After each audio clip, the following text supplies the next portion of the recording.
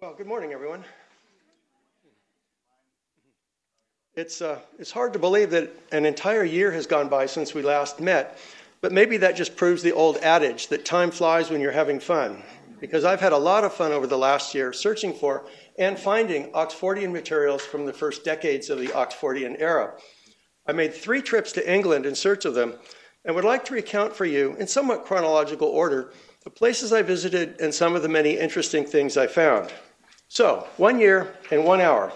We'll have to move quickly. Ready? Here we go.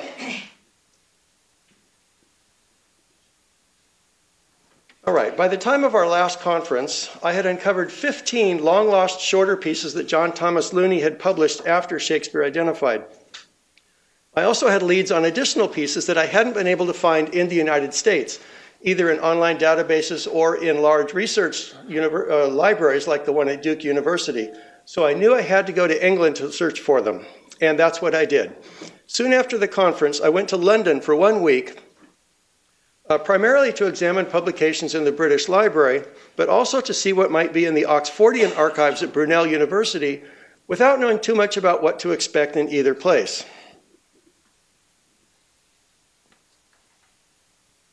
Now, I had heard that the Hackney Spectator had run many Oxfordian articles, so it was among the first publications that I requested at the British Library. I was thrilled to discover that it was all true. The Hackney Spectator had run 148 Shakespeare Fellowship columns over a period of two and a half years until the paper folded in 1925. The columns reported on ongoing Oxfordian research and other topics of special interest to anyone interested in the Shakespeare authorship question. Then something happened that I hadn't expected. I found that one of the articles in the Hackney Spectator had been written by John Thomas Looney. Then I found a second by him, and then a third. In all, Looney had written about 20 of the articles in that paper, which more than doubled the number of long lost shorter pieces by him that I had found. I now had the full text of about 38 such pieces. Then I discovered that the East Anglian magazine, which I knew had run a few pieces by Percy Allen and other Oxfordians, had actually run an Oxfordian page in every issue from August 1937 until the magazine ceased publication during the Second World War. This was all tremendously exciting, but even more exciting things were to come at Brunel University.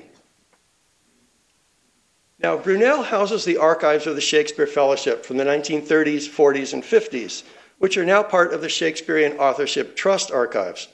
It also houses the papers of the De Vere Society. These materials, articles, letters, organizational records, and books fill seven bookcases with six shelves each. So that's 42 shelves of Oxfordian materials. Almost immediately after arriving at Brunel, the two red albums pictured on the right caught my eye. They're dated 1922 to 1929 and 1930 to 1936. So I set the first one out on the table and opened it. I was thrilled to see that it was filled with Oxfordian ephemera. Every page had articles and letters and other items pasted onto them, more than 100 pages in each album, totaling more than 500 pieces of Oxfordian ephemera, most of which do not exist anywhere else in the world. One of the most surprising findings in the Red Albums was that the Shakespeare Fellowship issued circulars to its members beginning at the time the fellowship was formed in 1922. These circulars were the main way that the fellowship kept its members informed about Oxfordian research activities and publications for more than a decade before the newsletter was launched in 1937. Until I found these, I had had no idea that the fellowship had issued any circulars or any other publications before the newsletter. The circular shown here from 1928 alerts members to upcoming lectures in London by Abel Lefranc. The circular on the right uh, reports on the fellowship's first year's work uh, in 1923. Uh, Sir George Greenwood, pictured there, was the president of the fellowship uh, for its first few years. And on the right, we have the membership list from 1924. Also in the red albums are dinner cards from various Shakespeare Fellowship dinners. The one shown here is from the very first fellowship dinner on April 12, 1930. A couple of weeks after the dinner was held, Colonel Bernard R. Ward commented on it in a letter to Gerald Rendall, saying, Ernest Allen was witty, but some of it was undoubtedly due to champagne. Percy Allen uh, was not quite happy about him. They were twin brothers, and somewhat ineffectually tried to put on the brakes. It was all enough to make Marjorie Bowen somewhat wild and haggard by the time she had to make her speech, which I thought was not the least happy of the many speeches of the evening. So, our illustrious predecessors have set a fine example for us to follow in our own nighttime revels. All right, from the archives, I learned a great deal about Colonel Bernard Roland Ward that I hadn't known before. We owe a great deal to him. He was the driving force behind the creation of the Shakespeare Fellowship. Yes, Looney discovered Oxford's authorship, but it was Colonel Ward who founded the Oxfordian movement. He was the first active Oxfordian researcher after Looney, and he published the first Oxfordian book after Looney's two books. It was he who convinced the Hackney Spectator to run the fellowship columns, which he edited, and it was he who prepared and sent out the Shakespeare or the, uh, the fellowship circulars. Without him, there would have been no institutional support for the Oxfordian idea, and individuals who had been persuaded by Looney's book might have remained just that isolated individuals. It was Colonel Ward who brought them together to form a real Oxfordian community. And we owe a debt to Gilbert Standen, a name not well known today. At first, it was a mystery who compiled those two red albums. Who was it, I wondered, who had dedicated years of his life to gathering together all those materials and pasting them into the red albums, thus preserving them for future generations. Then I noticed that the 50 letters pasted into the albums were all addressed to Mr. Standen. And then I noticed that the 1930s album ended in 1936, a date coinciding with uh, Gilbert Standen's death. So he was most likely the compiler. Now, on that first visit to Brunel, I got so caught up in examining those two red albums, I had almost no time to explore the rest of Brunel's Oxfordian holdings, so I knew I had to get back to England as soon as I possibly could. I'm grateful to the SOF's Research Grants Committee for providing a grant on short notice that enabled me to get back to London to continue my work only a few, a few months later.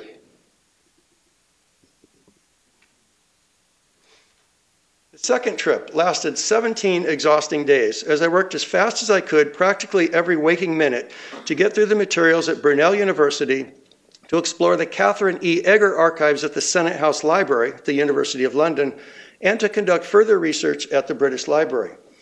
I went to Brunel first and almost immediately made another exciting discovery. We're all familiar with Captain Bernard M. Ward's biography, The 17th Earl of Oxford. Here's an advertisement for it on the right, uh, run on the Shakespeare Fellowship page of the Shakespeare Pictorial. Note that the ad includes excerpts from six reviews of the book. Now, I had searched for the full text of those reviews for years and had never and had found only three of them. I was despairing of ever finding the other three. Even the British Library didn't have copies of the periodicals in which they had appeared. But then, at Brunel, Almost immediately upon arriving, I found the notebook on the, the left here, into which had been pasted reviews of Ward's book, about 20 reviews or so, including those I hadn't been able to find anywhere else. On the right is one of those reviews. It's the first page of a long and substantive review of Ward's book that appeared in one of the long lost publications, TP's Weekly. Now, TP's Weekly is not included in any online database, it's never been indexed it's not on microfiche. Print copies are not in the holdings of the British Library. As far as I can tell, this copy of this important review is the only copy still in existence, and it's in the archives at Brunel University. Here's another surprising finding. We all know that Admiral Hubert Holland, later um, president of the Shakespeare Fellowship, wrote the book Shakespeare, Oxford, and Elizabethan Times, published in 1933. But he wrote a second volume of the book in 1946. It's the red uh, notebook there. It has never been published and exists only in one handwritten copy in Brunel's archives. What else is there? More than 40 Oxfordian pamphlets. Who knew Oxfordians had written so many? Here are two by Katharine Eggar. Uh, the third one is especially important Edward Johnson's The Shakespeare Quiz, which consists of 100 questions for Stratfordians to answer. it was prepared in 1950, revised in 1964, and sadly, it's still relevant today. Here are three more pamphlets uh, by famous names uh, Gerald Rendall, Captain Bernard M. Ward, and uh, Charles Wisner Barrell. Here are brochures about the Shakespeare Fellowship with information on the organization, the Oxfordian claim, and a list of the lectures to be given during the upcoming year. And two more brochures uh, put out by the uh, De Vere Society.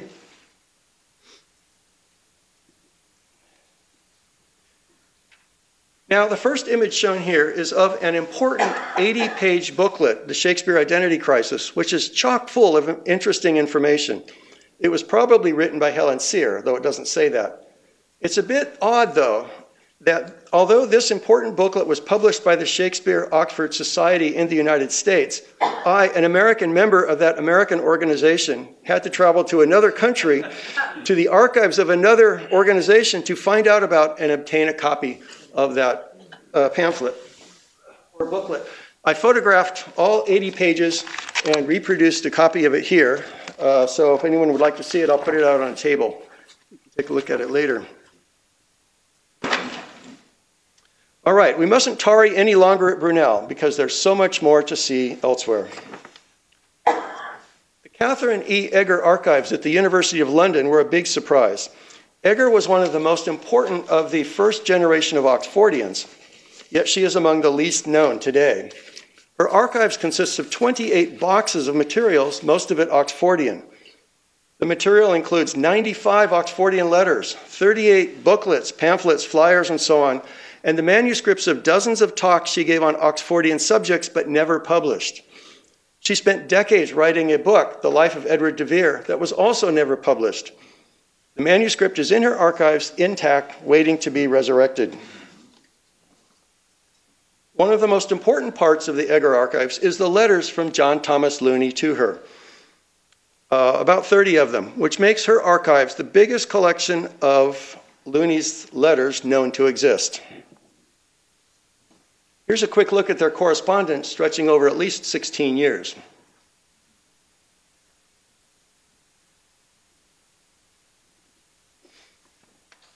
Now, I mentioned that Katharine Eggar uh, is among the most important of the first generation of Oxfordians.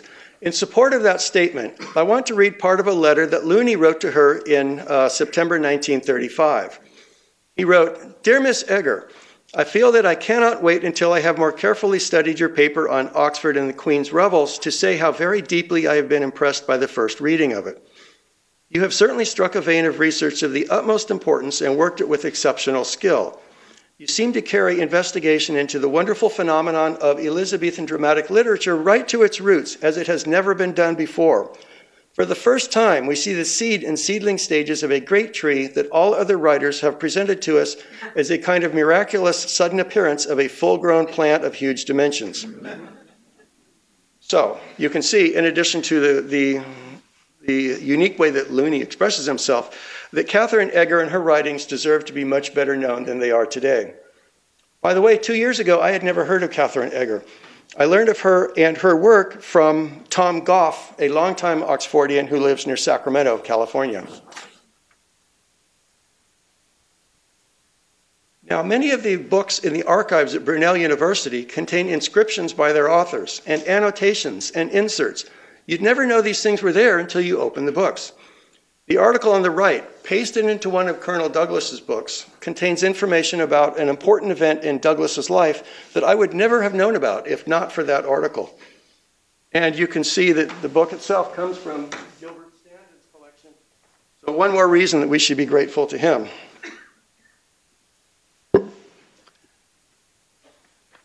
And here are annotations, notes, and inserts in Katharine Eggar's copy of Shakespeare Identified. Uh, the image on the right is a new, whoops, there we go. The image on the right is a new photograph of John Thomas Looney that I had never seen before. and that until I found it tucked into the, uh, her copy of uh, Shakespeare Identified, you know, probably very few people alive today have ever seen. So these two slides show the importance of examining every book in the Brunel and Eggar archives. I had only begun to do that when time ran out, so I hope to return to London next year to finish that work and also to uh, begin several new lines of investigation. Now, my third trip was the longest, lasting four full weeks. It was the most extensive, with research conducted in many places. I flew into Heathrow and immediately took the train to the Bodleian Library at Oxford. After a week there, I took the train all the way up to Newcastle in the north. There, I rented a car so that I could explore the area where Looney was um, born and raised and lived and worked. I also drove up to Scotland to meet his grandson, then drove down to Hull University, which had, has a letter from Looney in its history center, then drove on to Liverpool. From there, I took the train back to London. It was quite an adventure. Now, the Gerald H. Rendall Archives at the University of Liverpool consists of six boxes filled with hundreds of important Oxfordian materials, including letters, clippings, and other items not found anywhere else. One item is the text of a speech that Eva Turner Clark gave at the Colony Club in New York in 1936. Her speech was actually an introduction for Percy Allen, who was on a speaking tour of the United States and Canada.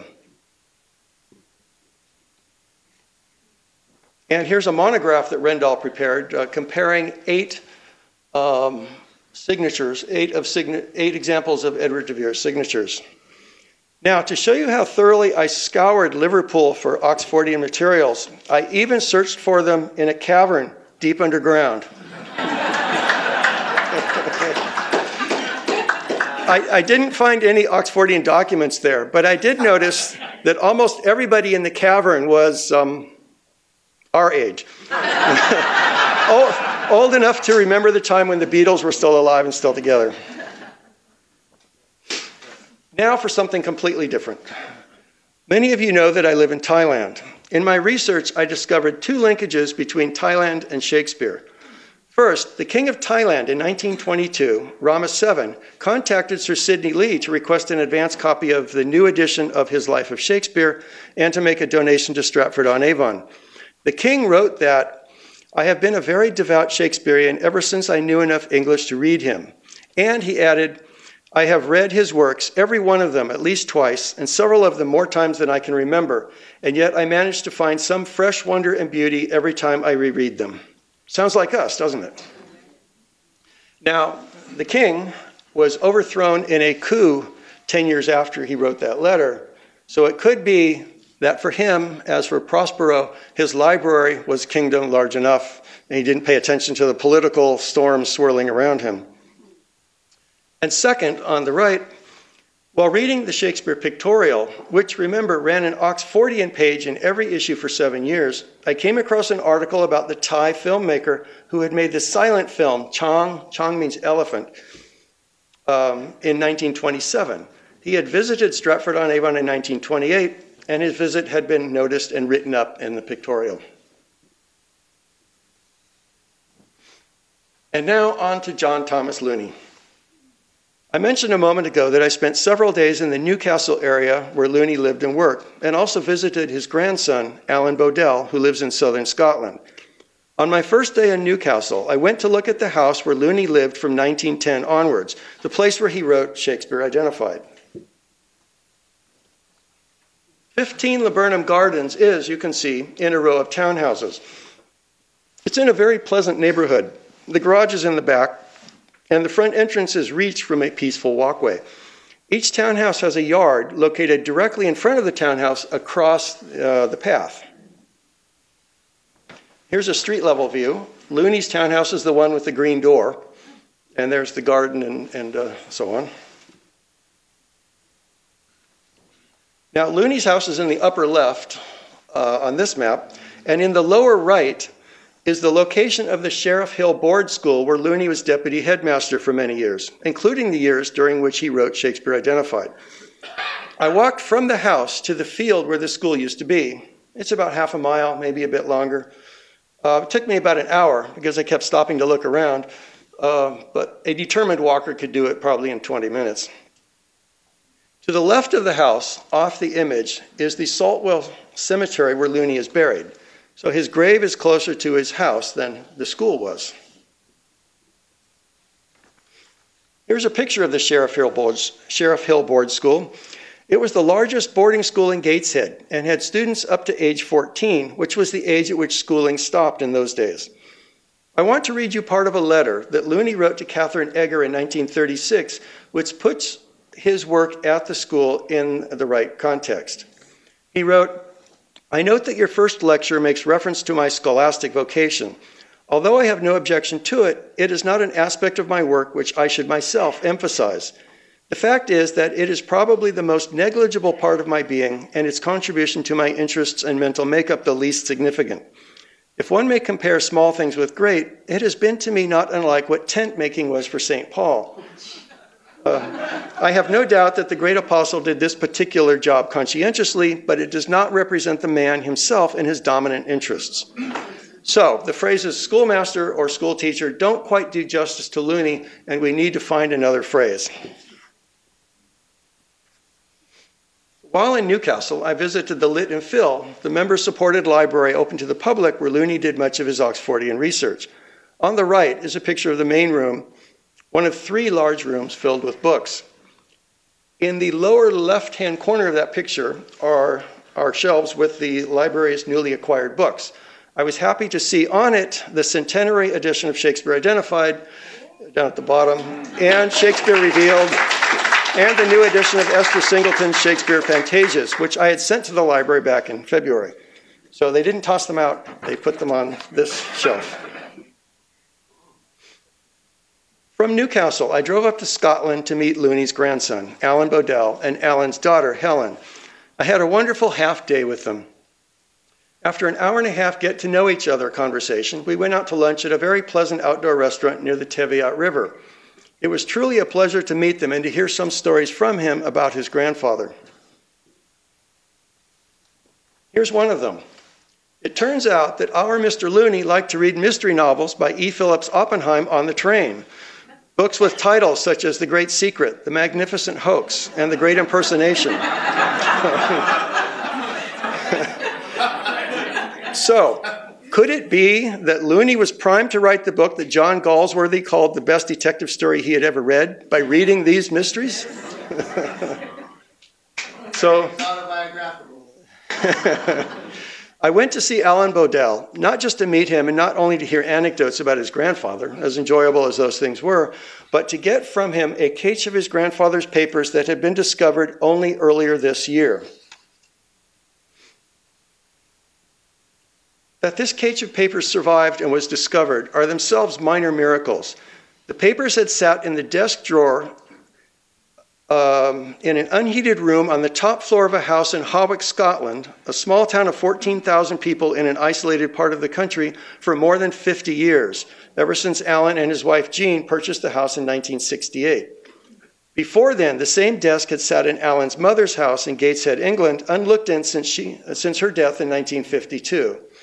Alan, now 85 years old, did not even know that the papers were in the desk. He discovered them only after the SOF's own Catherine Sharp asked if he had any additional photographs of his grandfather he'd be willing to share with us. It was in searching for photographs that he discovered the papers. Catherine, there you are, right there. Now, I had already been in correspondence with Alan, thanks to Catherine having introduced me to him. So once the papers had been discovered and Alan had indicated his willingness to pass them on to me, I went to Scotland to meet him and to get them from him. Here's what they looked like before I began to examine them. You can see there's 386 items, totaling about 1,940 pages, about half of which are Oxfordian.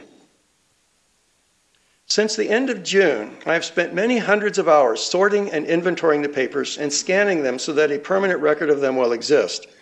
The SOF is now in conversations or negotiations with a prestigious university library about housing them there so that they will be protected and available for scholars to examine.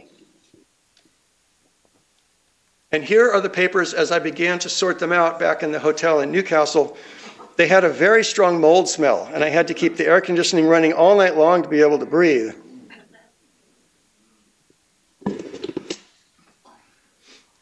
After pulling out all the easy parts, all the letters and clippings, I was left with the difficult task of trying to sort out more than 200 pages of handwritten notes and man- manuscripts. Some of them were clipped together, but most appeared to be in random order.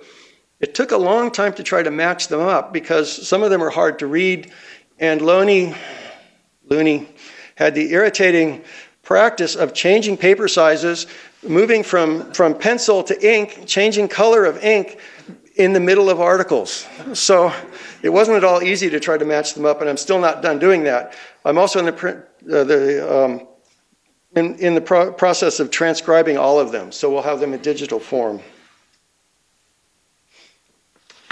Now, here's one example of how these papers begin to give us the context for incidents or publications we already know about. We've all seen this article by Looney in the Shakespeare Fellowship newsletter, the small print on it states that the following article is the reply by Mr. John Thomas Looney to a query from one of our members, Miss Lois Adelaide Book of Columbus, Indiana.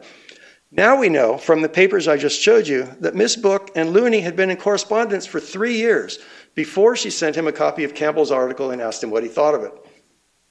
Okay, now let's talk about Shakespeare Identified. Here's a letter from Cecil Palmer to Looney in February 1920, 10 days before the book was released. Palmer wrote that it is with very great pleasure that I am able to send your six presentation copies of Shakespeare Identified. You would have had them a day or two earlier, but for the fact that the whole office has been preoccupied with an immense amount of propaganda work in connection with the book.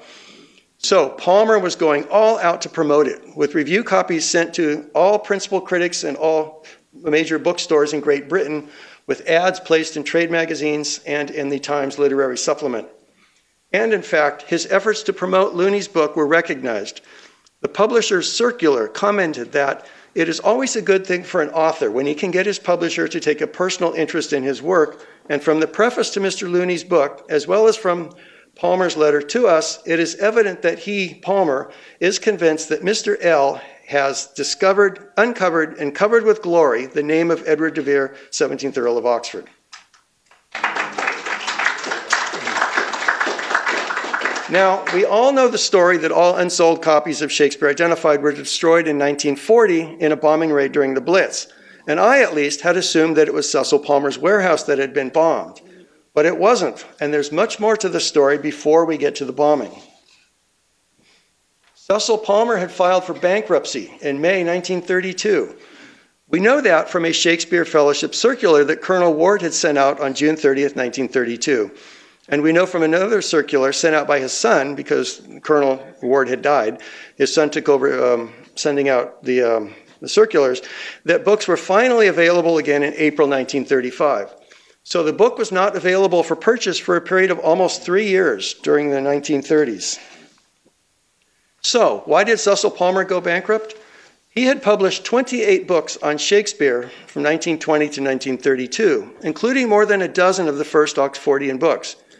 Could it be that publishing so many Oxfordian books was a cause, even the primary cause of his bankruptcy? We've already seen the extensive efforts, probably very expensive, that the company undertook to promote Looney's book. And now we have a letter Palmer wrote to Looney on July 3, 1923, which says, in part, my dear Looney, very many thanks for your letter. I am very glad you liked both Colonel Ward's book and Captain Holland's. Both, I think, should eventually help our case considerably, but it is wretchedly slow work and as difficult as ever to persuade folk to read books on this subject. So it, the book and the author never had an easy time. Um, and there's much more to the story.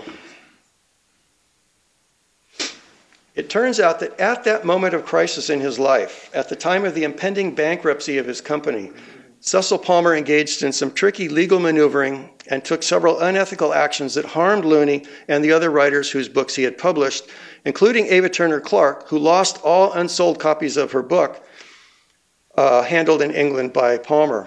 We know about these things now in part because of this letter that Looney wrote to the legal firm handling the bankruptcy proceedings. The lawyers had told Looney that all inventory of Shakespeare identified would be remaindered, dumped, or destroyed unless Looney himself paid the bills due Palmer's creditors. Looney responded in this letter by saying, First, let me refer to the possible, legal, possible sale as remainders of the existing stocks of the books and the possible legal action for damages, which, according to the judgment in the James v. Grant Richard case, would be the normal consequence of such sale. In other words, Looney was saying that you do not have the right to remainder the books, and if you do remainder them, then I will launch legal action against you, and he cites a legal precedent in support of his position. And there's still more to the story, even apart from this aspect of the legal morass. Although Cecil Palmer's company had reached the point of bankruptcy, the firm had made money on Shakespeare Identified. It had sold enough copies in England to recoup all expenses, and Palmer, as Looney's agent, had received royalties for him from the American publisher of the book. But Palmer didn't pass those American royalties on to Looney. Instead, he pocketed them just as he kept the royalties for all the copies sold in England thereby cheating Looney out of his royalties earned in both countries. Further, just before the bankruptcy, Palmer dumped 500 copies of Shakespeare Identified, sold them off at a cheap price, and pocketed those proceeds too, thereby defrauding both Looney and his own company. Now, I don't bring all these facts to light lightly, but they have been they have significantly, significantly complicated my view of Palmer from that of a crusader on behalf of Looney's book to something very different uh, a decade later. And there's still more to the story. After Looney got the unsold copies of the book back into his possession, he looked for and found an international bookseller willing to market the books in the UK and the US. But almost immediately after transferring all the books to the bookseller, the bookseller was deported from England. This was near the end of the 1930s, the Second World War had begun, and the bookseller was German. Looney then found another bookseller, Leonard Hyman, who would market the books, but there was more bad luck. Soon after the books were transferred to Hyman's warehouse in London, Fleet Street, where the warehouse was located, was destroyed by German bombing and the Blitz. So it was in Leonard Hyman's warehouse that the uh, books were destroyed. Looney later filed an insurance claim, only to find out that the bookseller hadn't purchased insurance, so he ended up receiving nothing for the 1920 English and American editions of his book.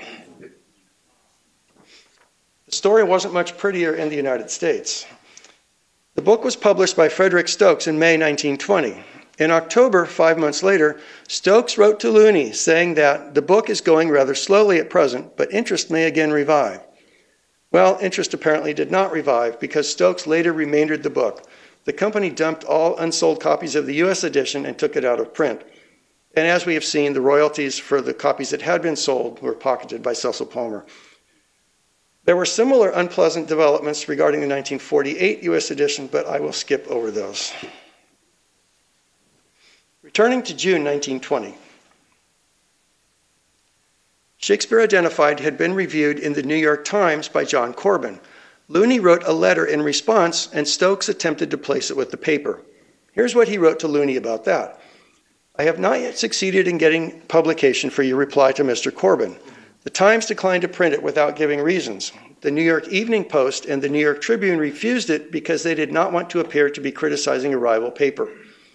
A decade later, in 1932, Looney submitted uh, an article to the Atlantic Monthly, which rejected it, writing Dear Mr. Looney, we fear the Atlantic is too old to change its opinions regarding the authorship of Shakespeare's works. So Looney didn't have any success in getting letters or articles published in the closed minded American media. There's much more to tell you about all that, but I have to begin to wrap things up. So, to sum up my activities and findings for the past year, whoops, wrong computer. I visited 10 sites in eight places in England and spent 40 days in actual research plus travel days between cities. All this work produced a mass of materials. After each significant round of research over the past four years, not just the past year, whether in online databases, libraries in the United States, or libraries and archives in England, my findings looked something like this. but, uh, but 10 times as many pieces. Uh, so the amount of material was almost overwhelming. I have been slowly but surely bringing some kind of order to it. Here's what it looks like now. These are my working files of the things that I've found. So these 40 binders contain almost 8,000 items, totaling almost 20,000 pages. All this is in addition to books and in addition to the Shakespeare Fellowship newsletters and quarterlies.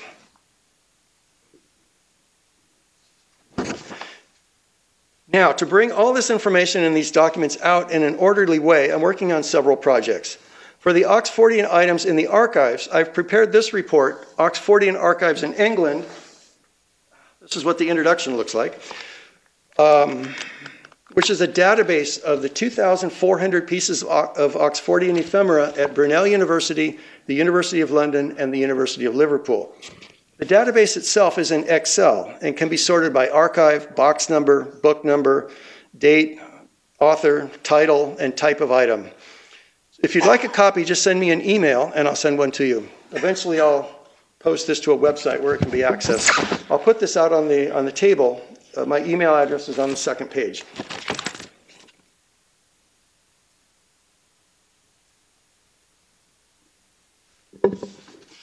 I'm also working on a chronological listing of every Oxfordian event, Oxfordian publication, and Oxfordian letter from the first 25 years of the Oxfordian movement, 1920 to 1945. It's already 130 pages long, and I'm not done yet. And I'm working on a book. I have a copy right here Shakespeare Investigated this is a collection of Oxfordian correspondence during the first quarter century of the Oxfordian movement. I know about 500 letters sent between Oxfordians, and I have more than 400 of them, either originals or photocopies or photographs. More than half of them are either to or from Looney. So I've divided them into 14 sections, and I'm writing introductions to each section. So these letters, supplemented by my introductions, will tell the story of the first decades of the Oxfordian movement in the words of the people who actually participated in it. So it's about 500 pages long. Uh, there's one letter after another after another. But it's, they're, they're fascinating to get a firsthand look of what was going through their minds, what information were they sharing with each other during those 25 years.